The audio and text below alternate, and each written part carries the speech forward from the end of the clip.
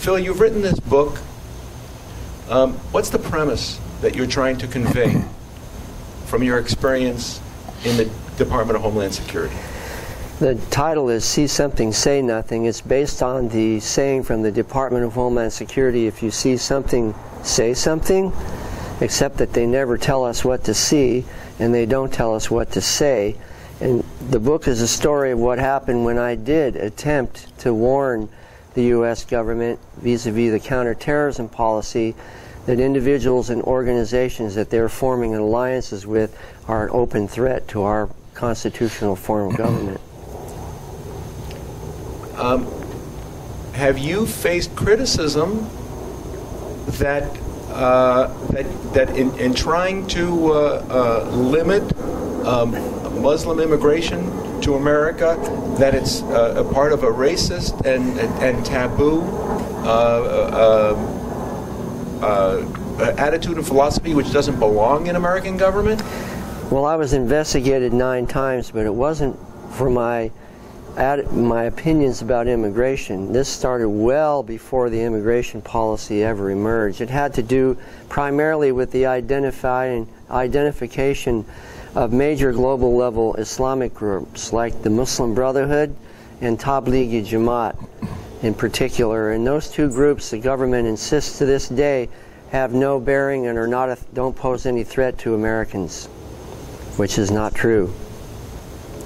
Is there an agenda within the Democrat administration to bring Muslims into America that could be absorbed into Muslim uh, Arab countries? Well, there's a definite, deliberate, and intentional policy that they have to bring individuals into the country, despite repeated warnings from various sectors of the law enforcement community that we can't thoroughly or adequately vet these individuals. They're not even taking advice from their own highly placed uh, officials within the government FBI, CIA, even Department of State, any law enforcement agency. They say we cannot thoroughly and adequately vet these individuals and guarantee the American public that we're safe. Do you feel that there's an agenda to bring Muslims in for a particular agenda? I think it's part of a larger agenda that you can find right in the Declaration of Independence that is to alter or abolish this form, current form of government. And it appears by their actions that this administration and the progressive leftist Democratic Party are attempting to alter or abolish, aka hope and change, this current form of government and replace it with one that is more inclusive and diverse and less discriminatory than the one that we have now. They state that plainly. But do you feel uh, the gentlemen who are uh, members of uh, an ethnic minority and have been ethnic minorities in Arab uh, in Arab country uh, like Egypt, do you feel that there's a discriminatory policy in, in the United States towards Arabs in general? Mm. I, I cannot say for, for sure that there is discrimination. discrimination. It's a government policy that's Well, it's, I, I, would say Obama's policy, not the whole government. I, I believe Obama is the one. Uh, he's, he's changing the policy, and even he doesn't want to mention the word in the whole government uh, the word Islamic terrorist. He doesn't want to mention that. And he hired a lot of Muslim in his organi- in, in the White House and, and in other, even Homeland Security. And, and I don't know if we've vetting them or not, or vetted them or not. I mean, like CAIR organization. CAIR organization, this is part of the Muslim Brotherhood. You mean, uh, what does CAIR stand for? Uh, Council on American yeah, Islamic Relations. Yeah and and Egypt themselves now they said that the Brotherhood is a terrorist organization. United States here they don't want to say that, and CAIR organization or the, the official of the CAIR organization usually go to the White House anytime they want and still Obama meeting with them and listening to them and taking their advice. And Obama himself, if the put the Muslim Brotherhood, President Morsi, he put him in power in Egypt because of Obama.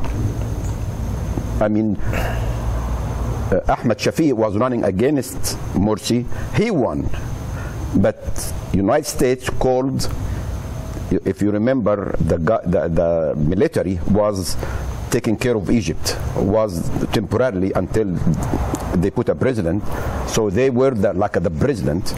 And United States called Tantawi, he was the head of the government, uh, the, the military, and told him, put Morsi in the government as the president. And he put him in the president as a president. When Sisi took him out of, the, of his position, they said this is a coup. And it wasn't a coup. 33 million people went to the street to demand that he gets out. And took like almost a year and a half or two years until United States accepted that it's not a coup. Uh, doctor, would you explain, um, as Egyptians, how how are you uh, uh, Arab but different than the uh, immigrants that might be coming from Egypt today? Well, I think things have changed over the last few generations. In our days, we did not think of these divisions and we were living in a semi-democratic condition. Though we had a ruler that you can call him autocratic, Nasser, but he was a very good man, a fair man, maybe not good for Israel, but was good for the people in country. We didn't, we never felt the difference between a Muslim and a Christian at the time. Never been pointed out to us. However, we were aware that we are Copts, means we are really from the original Egyptian stock. We belong to the days of the pharaohs. So we haven't changed any religion, we kept to that. And uh, Muslims could be, a part, part of them could be originally from Arabia, or some of them who are Copt converted to Islam. But these were good days. After the 60s, started things to change. And I think the change that happened in Egypt started with somebody that America likes because America has some tendency to like personalities and like people who may be actors. That was Sadat. Sadat was a great actor. And he destroyed Egypt inside because he revived the Muslim Brotherhood. He made them take rules with him. He adored them. And he started persecuting the Christians. And what happened is the Muslim Brotherhood got the power and they killed him. It's an amazing how it is. You, it's like you let the snake come in and bite you. And then what happened was, uh, from there on, there have been a change in Egypt. There have been the rise of all Islamic fanatism. Now, if it has tendency in the beginning to have something to do with political views, but I think it became more and more fanatic against Christians in Egypt. Now, in the, uh, in the outside scene, they want to have to regain some power and to have to stand in the world as a power. They were rich. They have been always calling for terrorism, but somehow they were able to get into America and the government of uh, America. Well, how did this happen? It's a puzzlement to me. Now, I am not going to blame only Obama. I go all the way to Bush that Bush has to go in the Middle East. I am against it. I was against it. I believe it was the biggest mistake America made. We didn't need to go to Iraq because there were two factions, which is the Sunni and the Shia. We never felt there is anything like this before. But now it came to the forefront and became a big war between themselves. And we got something so strange. We do the opposite. I tell you why we are going to Iraq, which essentially helped us against the Shia, which is Iran. They fought Iran for us. And now we go to get the guy that fought Iran for us so we can let the Shia of Iran become stronger. And I, I, that's the outcome. We are doing the same thing with the Islamists. And started by the policy of, uh, what's her name, Hillary. Hillary supported the Muslim brothers in Egypt and brought, as you mentioned, my friend here mentioned to you, brought that Morsi in. And the people knew that this is not what Egypt wants. Egypt was uh, relatively a good country in the past. We had freedom. Now it's became all Islamist and start the persecution. And why are they helping Islamists? I have no idea. Why would they come? So you have this, uh, this, this dilemma to me. Look again. Why do we go to, to, uh, to uh, Benghazi? And look what happened. We got hurt. We tried to help Benghazi. We, every time to go in this area, we are the one going to get hurt. And so I see a strange policy. I'm not able to, to understand. Now come now to the immigration. We should be able to solve this problem locally.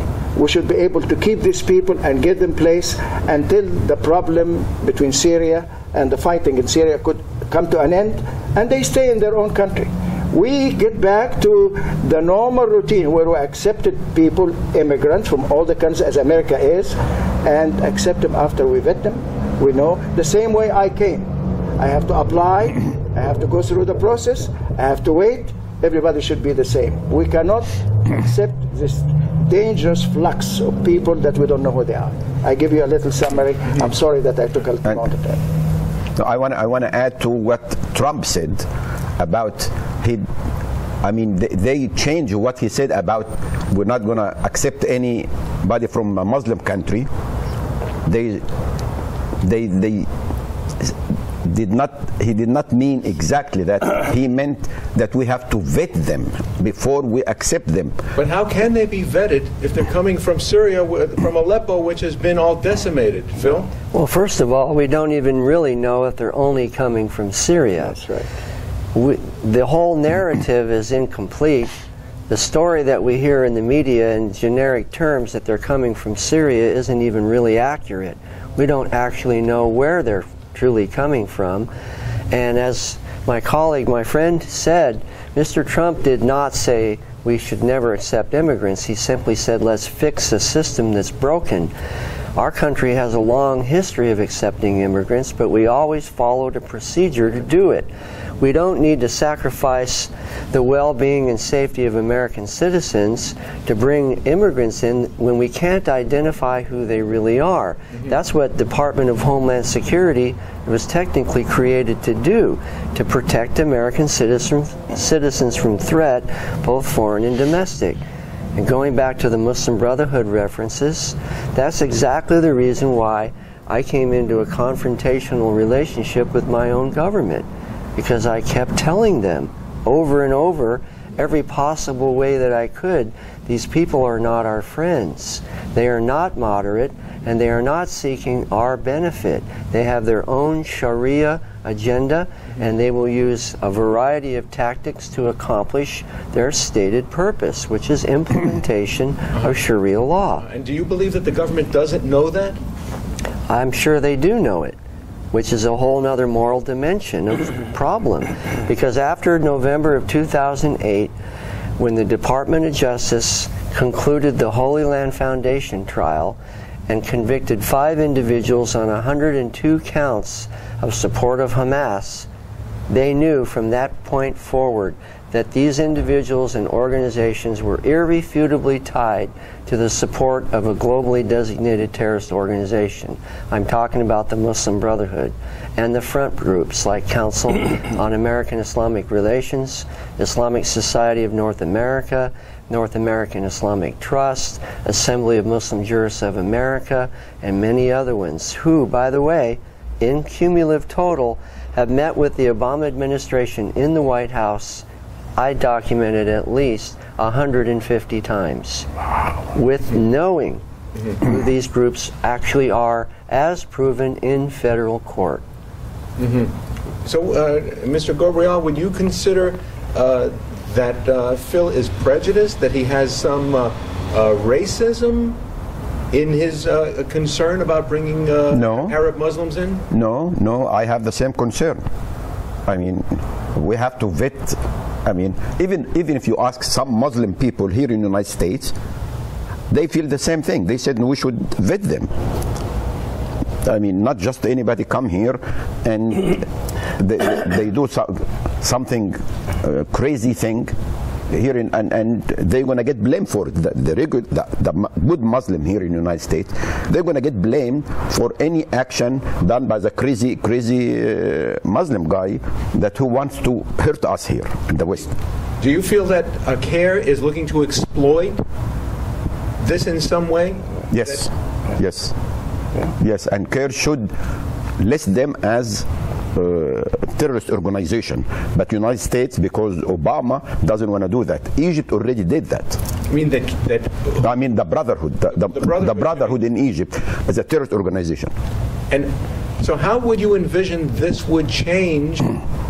under either a, a, a new Republican administration It's gonna or, change. or a Democrat administration? No, and re- Republican. If if United States will elect Hillary Clinton, we're going to have the third term of Obama, and she said that. The same thing, in other words. In, in Yes, same same policy of Obama. Really? Yes, yes. And with the same pro-Muslim, uh, uh, or say pro-Islamist tolerance for Islamism, Muslim Brotherhood, and and immigration. You mean the the, the, the Hillary or, or, or Hillary. Hillary? Oh yeah, she's going to follow the same thing. She's going to follow the same, and she's going to accept even more. Uh, Let me interject here. Yeah. You know that she still have her advisor is a woman who is from the Muslim Brother, yes, and her parents were active in the Muslim Brother. These are known. Yes. So she hasn't changed, and she's the one that visited uh, uh, Egypt in the time when they were trying to get the Muslim Brothers to take over. She's the one that met them, and she would meet with nobody else. She decided this is a group that America wants to deal with. Who are you referring to? I'm with the Muslim Brotherhood. Hillary, Hillary, absolutely. She was a Secretary of State that was very instrumental in this whole policy. So not, this policy is not going to change. Now, you asked a question, which is a very intelligent question, and it's been answered partially here. At the question, does the government know that or not? Now, I have a, a- some conflicting thoughts about this. Let me tell you. When Bush stood up after we were attacked in 9 11 by 19 Muslim people, Yes, there were no Christian among them, there was no Jew among them. They were all Muslim, from mostly from Saudi Arabia. 19 of them shook us and brought us to our knees. Don't forget that. We did. America, for the first time, the proud America, Bush stands there and say, Islam is a religion of peace. How stupid could he be? Did he read about this Islam? Did he study history of Islam? And we have him as a president, and he has uttered these words. Now, I have a thought about this. When Reagan had the uh, Marine in Lebanon, and they were attacked. 200 or more Marines Yes, were yes. killed. What year was that? 19? That was in the, in the 80s, 89? 80, 80, 80s. I don't know, in the you know, 80s. maybe. I can't. I'm not. Okay. I can't remember the dates exactly. I wish I do have that memory, but I remember the incident. He had in his ad, the people that advised him. He used to rely on them. There was a guy from Lebanon. His name is Habib. Yes. He told him, "Get out of this place. Why do you sit there?" And he was smart. He moved out. He was not a loser by doing this. He was smart. He didn't want to get involved in a long-standing war.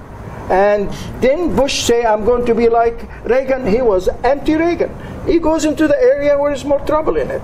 There was, I, uh, sorry to say, I had a son. I have a son that that's in the military. In which which military?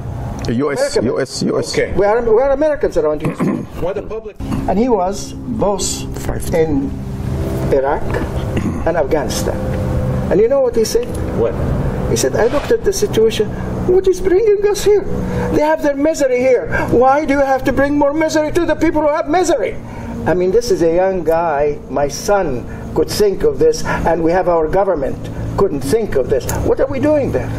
What did we do? Why should we, America, the great America, go to have 4,000 of their soldiers killed for somebody called Saddam. He's not even worse. One, one of them. And so, if you thought we need to go back to our, and I, I am not for, uh, I have to tell you, I'm not for any of the two other two are going to be elected.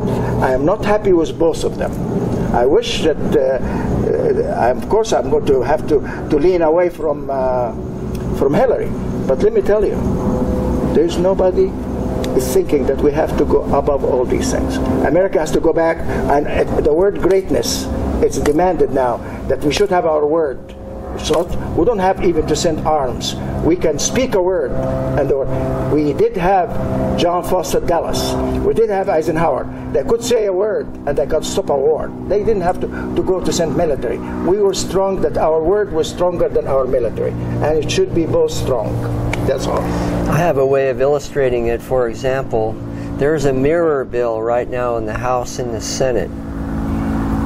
SB 8, SB 3892. What does it mean, a Miller a mirror? Mirror. bill? There's the same language in the House and in the in the Senate. It is uh, the Muslim Brotherhood Terrorist Designation Bill, Terrorist Organization Bill. If we were to pass that, which could theoretically be done before the election under Congress, we would send a signal to the entire Salafi, pro Sharia, pro jihad Islamic world that America is once again serious about protecting its borders from terrorism. We could do it without firing a single shot or dropping a single bomb anywhere in the world. That, my friend, would send a shockwave throughout the, the pro Sharia, pro jihad Islamic world. Yes. It would be very effective and it would enable us to address the threat that's right in front of us, clearly defined, clearly understood by everywhere else in the world except somehow here, that organizations like the Muslim Brotherhood are, are a threat to us. They're not benign, nor are they moderate. They are a malevolent threat and they have a clearly stated strategic agenda and they say what they intend to do and they're making progress. One of the terms is settlement jihad. And this administration is aiding and abetting in that clearly stated tactical approach to implement what is called Al Mutsima Al Islamina Al Qaeda, the observant Muslim base. Al Qaeda is not an organization, it's an abstract concept of a uniform community that submits to the, the concept of Sharia law and pushes it forward in whatever society they find themselves in, and they're doing it right in front of us here in the United States. Is this mentality that you have, this orientation which you have, is this representative of the current um, leadership in the Department of Homeland Security and, and America's security uh, uh, institutions? No, if it were, I wouldn't have been investigated nine times by my own administration, not for moral failure or failure to observe, uh, follow an order, but for simply putting information into the intelligence citizen, uh, system that the uh, administration found contradictory to their narrative. And that's why I was in trouble investigated so much because I declared plainly groups like Tablighi Jamaat and Muslim Brotherhood pose a threat to us. Uh-huh. And they insist that they are moderate and that they do not pose a threat, that Islam is a religion of peace without ever looking or honestly evaluating what the stated strategic goal of these groups actually is. This is very heavy stuff. You're, you're, what you're saying essentially is that the, the, the uh, U.S. institutions to protect us have been hijacked. Is that what you're saying? That's why I call it see something, say nothing. because why would they remove intelligence information out of the system then? I talk about that in the book. In 2009, this started when I was ordered specifically from headquarters in Washington to remove, the word was modify, linking information out of more than 820 intelligence records that were related directly to the Muslim Brotherhood individuals or organizations that were operating in the United States. Then they went further in 2012 and purged out all the training material related to Islam out of the Department of Defense, Department of Justice, FBI, Department of Homeland Security, and then they went one step further after that in 2012 and completely eradicated intelligence information out of the system related to the Tablighi Jamaat organization. And they didn't stop there. Then they went after the individuals who had the background and the expertise and went after their careers. What do you fear would happen if this uh, this administrative uh, mindset were to continue through another Democrat administration? Exactly more of what we've already been seeing. It's like a mathematical formula. Add the variable, variables and you're going to see the same result every single time, especially when, if you view it from the lens of the global Islamic movement strategy, which is implementation of Sharia law, it all makes perfect sense. And every time they do an attack, and they're not confronted, they see it from an Islamic perspective as a mandate to go farther and push more. Mm-hmm. And they will continue. It's called the response, a weak response reaction.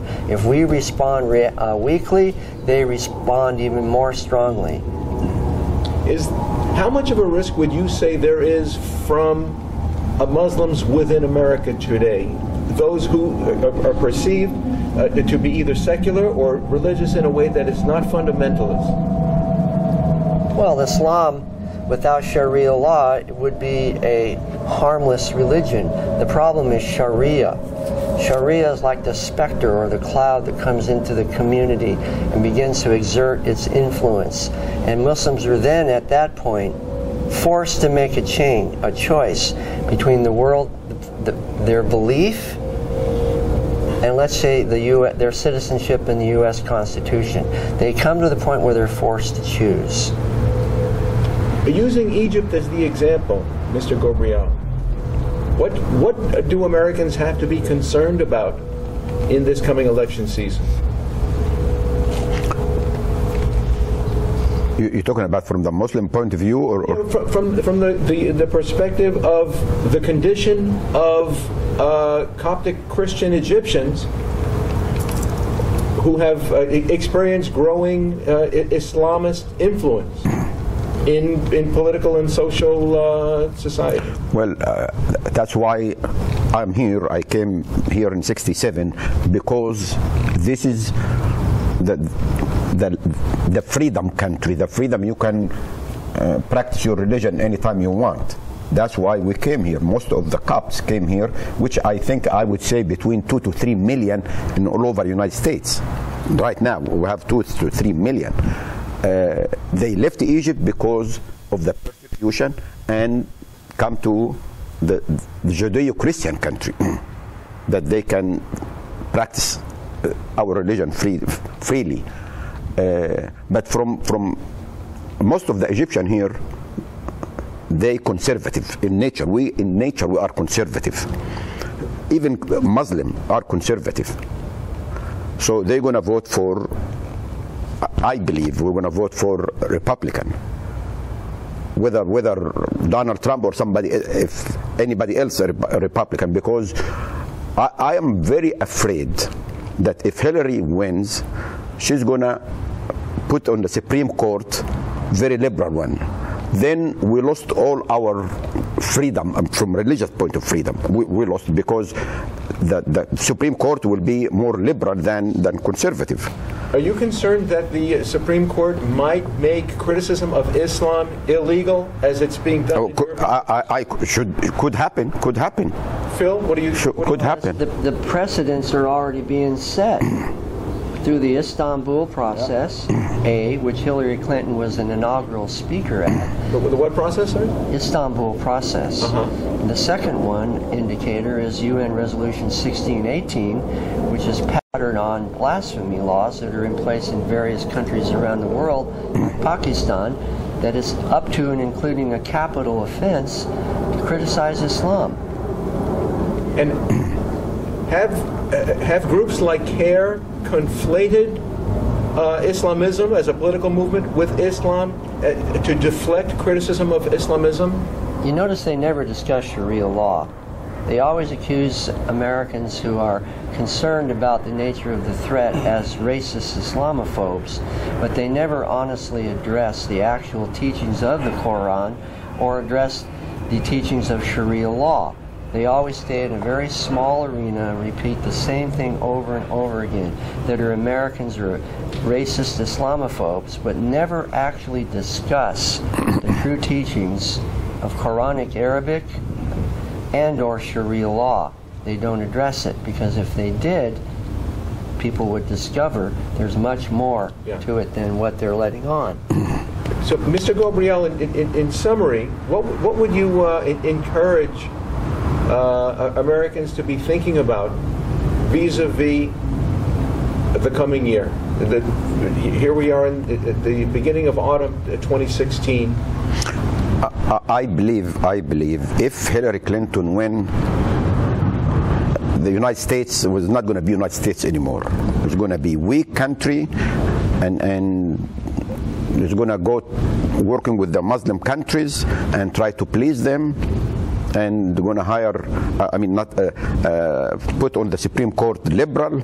We're going to lose our freedom here, and that's why I hope and my prayer that Trump will win because we already know he's going to put he already said about nine of them supreme court and all of them very conservative people he's going to hire one of them next president is going to hire three at least three supreme court because two one right now and two later because very o- over like 70 or 80 years old they're going to retire so I hope, I hope that the Republican will win, so they can put two or three Supreme Court conservative leader, conservative uh, judges. Thank you very much, gentlemen. Uh, Phil, again, the, the name of your book in, is please, See something, say nothing. and uh, it, the author's name is, My name is Philip Haney. and is there a website that people people can follow your work? You can find it on Amazon. I don't have any social media myself, but it's available on Amazon and several other common book sites. And there's a lot about me on social media. I just don't have my own website. Thank you for being with us today. Welcome. Thank you.